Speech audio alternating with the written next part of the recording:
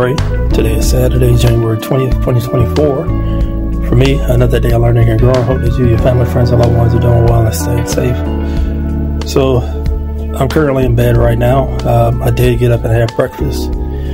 Um, like usual, uh, I had my medications first set at 5 a.m., second set of medications at um, 6 a.m. with uh, some breakfast. So, you know, this week I've been thinking about well, a lot of a lot of times I'm thinking about my consumer debt and you know how I ended up here. Um, ended up with one hundred and fifteen thousand dollars worth of uh, non-mortgage debt, consumer debt. Uh, a big part of my debt is the student loans. I get that, but also a big part of that was a credit card debt, and um, not having any direction or any guidance as to how I really should be spending money. so, and um, I'm not sure if I if I've given this update yet, but I have paid off half of my consumer debt as of um, January 14th. So I'm um, halfway to my goal of uh, paying off that 115,000. Taking a little bit longer uh, because, uh, for one thing, I have uh, systemic lupus erythematosus. So I visit my rheumatologist um, every quarter. Um, I have to have labs done each time. I do have a health plan with uh, my employer, so that has been helping me tremendously. But every year since 2019, I've met my deductible. And um, I want to say two out of those uh, almost five years now, I've met my out of pocket maximum. Now, deductible sixteen hundred. Medications do uh, count towards that, um, but you know, bulk of that was the doctor's visits, and uh, out of pocket maximum forty six hundred. And the times that I hit the uh, out of out of pocket maximum were the times that I was hospitalized, and I didn't have that money, so I use my credit cards actually to be able to uh, afford to pay for those hospital stays. Um, when you meet your out of pocket maximum, then the, the health plan pays for anything above that. So that was very helpful. Um, and also, I wasn't utilizing my benefits. So, for example, I have a health reimbursement account. I didn't, didn't even know about it until um, I had one of my hospital stays, and then a friend of mine said, "Are you using this HRA?" You know, I'm like, I have no idea what the heck that is.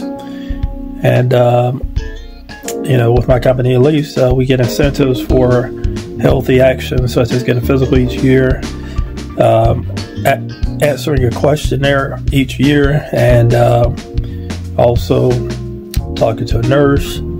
Uh, being in active plans, you know, like uh, health plans. I'm sorry, like exercise and things, meeting goals. And every year, basically, I think it was probably 2020 that I started doing that. I make sure I, maximize using those things because I'm looking for ways to save money. You know, um, the longer I budget, and for me, I've been budgeting now since uh, May of 2020. Uh, was it May of 2020 or May 2021? May of no, it was 2020. Yeah, that's when I started the budget. And you know, ever since then, I have uh, I've gotten better at the practice of budgeting, which is essentially what we do. Is we practice budgeting. It's something that happens every month. You know, I uh, it's easy with fixed expenses such as your mortgage, your HOA, maybe your subscription plans. Hopefully, you don't have too many of those. and um, electricity can be a variable, but you know it's not going to fluctuate too much. Your gas bill and um, any debt payments; those are pretty easy to budget for. The things that are the trickiest to budget for are uh, well, food, of course uh, medications has gotten easier because I know basically which um, I've been I've been consistent on the same meds for the past few years, and so that's easier for me. So I set aside roughly fifty bucks a month for medications, and then um, trying to think fuel costs that can be a variable. Fortunately, I live very close to work. I don't do a lot of traveling because uh, I mean, excuse me, I'm able to compromise for one thing, but also uh, I don't travel anywhere. You know, I just I don't go vacations, and uh, ever since uh, ever since I had the blood clot and the pulmonary, pulmonary excuse me the pulmonary embolism and the deep vein thrombosis, I you know don't travel long distances. But you know, there's a lot of ways to save money. As a matter of fact, I was looking at this website this morning called AmericaSaves.org, and uh, it had has an article in there about 54 ways to save your money. And a lot of those things I'm doing already uh, because I budget. You know, with budgeting, it makes your money real. I, I could I could actually think of the last time I actually used uh, physical currency as um, a way to transact business because I don't. A lot of my currency is digital. And um, so you have to make that real. And, you know, fortunately, they have uh, great apps and programs that you can use. The one that I use is called You Need a Budget or YNAB. They've been around for a lot of years. Um, at first, it was kind of difficult to understand it, but basically what it is, it uses the envelope system. So let's say you, you have $100 and you need to divvy that $100 into different categories. So $10 to, to fuel, $10 to groceries, $10 to medications, $10 to entertainment. So visually, how does that look? So you place, you're not moving money in your account per se, but you're moving money around in the app to fit into the category. So you're giving it that money an assignment. So excuse me a second. Yeah, my nose started running, and I may have to edit that out. That's yeah, uh, it's cold. But um, yeah, so you're taking your money, you're giving it an assignment, and you know it's not like you're actually physically moving that money around in your banking account, but you have this app that keeps uh, track of the money that you have and how much of that money in the bank is allocated to what.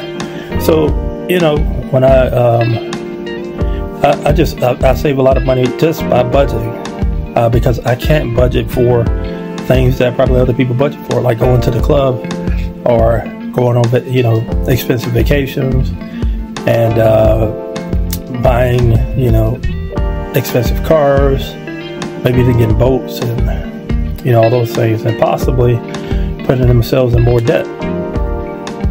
Um, I had a uh, paradigm shift. You know, my paradigm shift was my health completely going south, and um, and then saying, okay, I need to tackle other things, so I tackle my debt, and um, the other th- other thing I'm really going to tackle is uh, is confidence because I've lost a lot of confidence over the years, especially with uh, uh, when it comes to uh, my career and um, and being able to just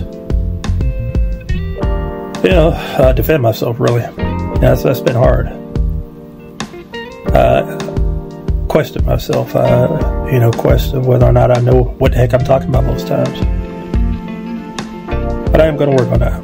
You know, I'm working on it. A lot of the things I'm working on, learning how to cook, and I'm getting better at that. You know, this year I'm making a serious effort to cook more, and that's been paying off actually. So I'm getting less and less intimidated. I'm glad that you know I'm making this investment, and that's another way to save money is cook for yourself.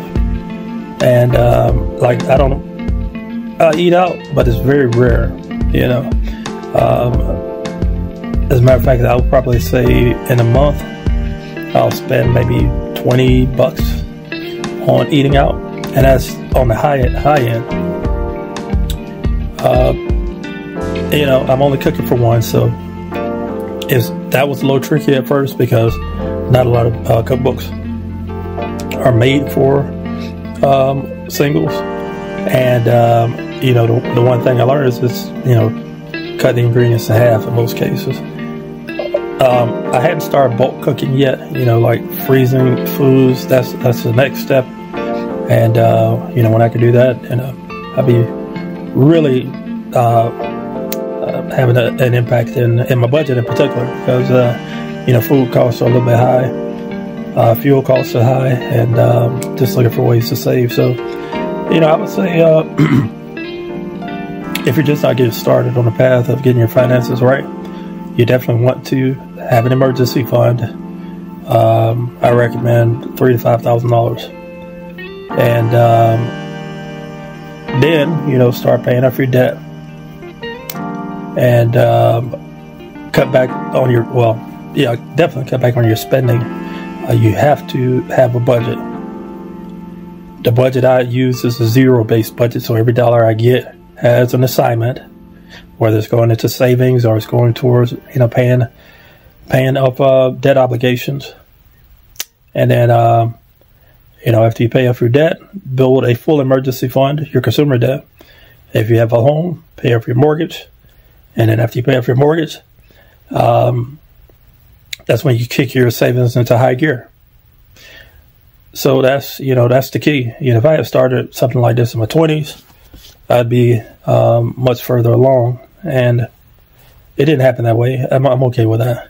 I, I am I'm here. I'm in a, a, better position than I would have been if I had decided to if I decided to just bury my head in the sand and just let that debt keep on accumulating. But I stopped the bleeding, and now I've paid off uh, half of my debt. And I think um, it'll be next week's video where I give you the update on my um, January numbers, and that's when you'll see uh, how much progress I made so far this year, which isn't which won't be much, but you know half of my debt is not paid off, and I have about as much debt as a uh, expensive car. If you think about it that way. And uh, oh, and I make less than six figures a year. Hopefully, not always. You know, hopefully, you know, maybe I'll hit six figures uh, at some point before my career's over. Eh, maybe, maybe not. You know what? I'm going to be confident and say I'm going to hit six figures. I'm going to get six figures. I'm to, yeah, that's to happen. Yeah. Okay. If you made it this far, feel free to like, comment, subscribe, hit the bell for notifications. You know when I post my videos. You can find me at youtube.com forward slash at Lupus Lifestyle. Thank you for watching. You all stay warm if you can. Go ahead and donate uh, your warm clothing to any uh, organizations that may be your community. Uh, keep the homeless in mind. You know, I'm definitely fortunate to have a roof over my head. If you're watching this, you probably have a roof over your head. You may not. If you don't, uh, keep on pushing. You know, keep on, uh, keep on striving for getting out of the situation you may be in, if that's the case. So, all right, you all take care.